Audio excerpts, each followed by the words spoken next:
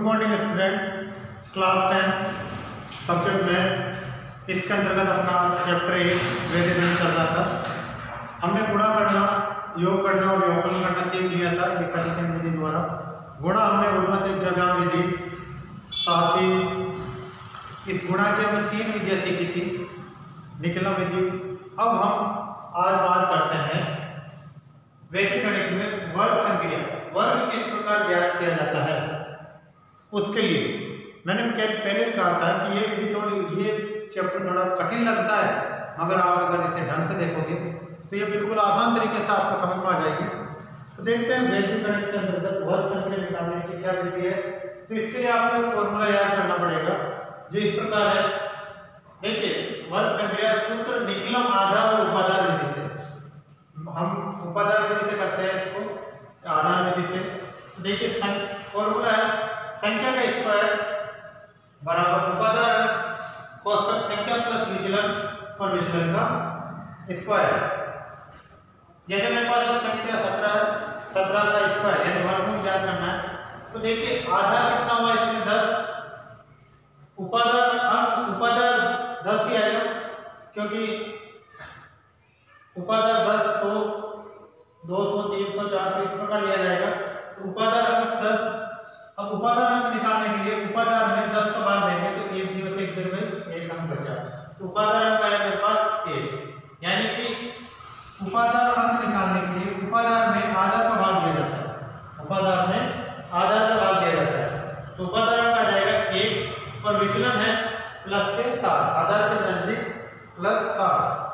तो यहाँ हम क्या करेंगे? उपादान आया हमारे पास एक, संख्या है सत्रह, प्लस विचलन आया सात। ठीक है ऑब्लिक दूसरा पक्ष विचलन का स्क्वायर तो सात का स्क्वायर तो यहाँ देखिए सत्रह प्लस सात, चौबीस चौबीस एकम, चौबीस. सात का स्क्वायर सात का सात उनपचास. तो ये उनपचास और ये चौबीस. तो आधा दस है तो यहाँ नौ का नौ. फिर उसके बाद में ये चार का नौ लिख दिया, ये नौ का नौ आएगा. फिर उसके बाद में चार और चार आठ. तो ये दो.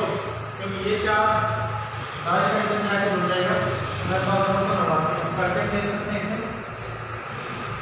सात सौ सात पचास सात सौ चार सात एक सात और चार ग्यारह। फिर एक साथ सात और एक एक ये नौ सात और एक, आठ। और ये एक दो। दो सौ नवासी। देखिए, एक सवाल और कर लेते हैं। दो सौ पच्चीस का इसका क्या करना है? तो देखिए, आधार अपना सौ माना। उपादान है दो सौ। उपादान में निकालने के लिए उपादान में आधार का भाग देखें दो ज़ीरो से दो ज़ीरो बढ़ गई उपादान आया अपने पास दो।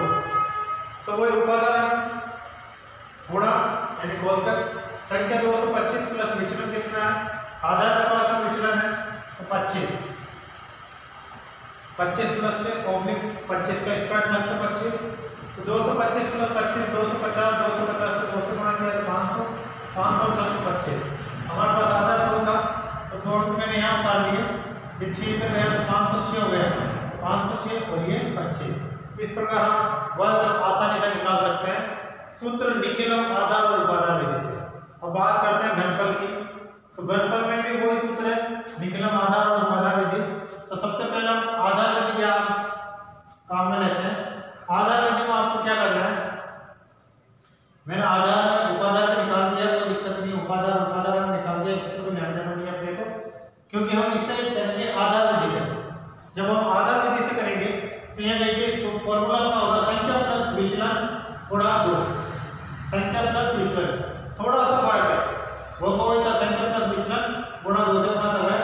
फिर तीन गुणा विचलन का स्क्वायर ऑब्लिक विचलन का क्यूब विचलन विचलन का स्क्वायर विचलन का क्यूब दो से गुणा किया, तीन से गुणा किया इससे तो यह देखिए संख्या आपके पास पंद्रह है। पंद्रह का स्क्वायर निकालना है। ठीक है, पंद्रह का स्क्वायर निकालना तो संख्या पंद्रह प्लस विचलन पाँच, आधा दस हो गया। तो विचलन क्या है? पाँच। तो पाँच गुणा दो ऑब्लिक तीन गुणा विचलन का स्क्वायर पाँच का स्क्वायर ऑब्लिक विचलन का क्यूब तो पाँच का क्यूब तो यहाँ देखिए, पंद्रह प्लस पाँच दूनी दस ऑब्लिक तीन गुणा पच्चीस, पाँच का स्क्वायर पच्चीस हो गया, और ये तीन से गुणा करेंगे पच्चीस से पिछहत्तर, और पाँच का क्यूब पच्चीस पच्चीस पच्चीस पंचो एक सौ पच्चीस. पाँच गुणा पाँच गुणा पाँच. पचपन पच्चीस पच्चीस पंचो एक सौ पच्चीस. यहाँ देखिए, अब हमारे पास पच्चीस पिछहत्तर और एक सौ पच्चीस दे रखा है। हम इसे आराम से कर सकते हैं। लिख लीजिए पाँच। बारह जुड़ेगा इधर। पाँच में आ गया। बारह पाँच। सीधा जुड़ जाएगा। पिछहत्तर में बारह जोड़ देंगे अपन। पिछहत्तर में बारह जोड़े। तो मेरे पास आ जाएगा सत्यासी। सत्यासी का सात।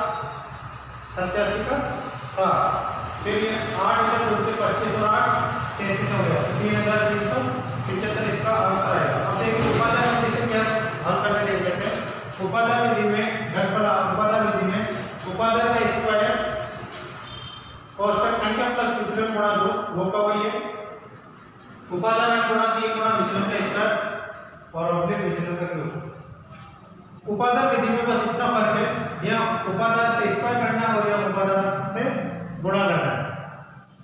देखिए, चार सौ एक का निकालते हैं। तो वही वाली बात है, आधा अपन सौ माना तो उपादान चार सौ हो गया। तो उपादान चार सौ सौ का भाग देंगे का आएगा चार, और विचलन प्लस का एक।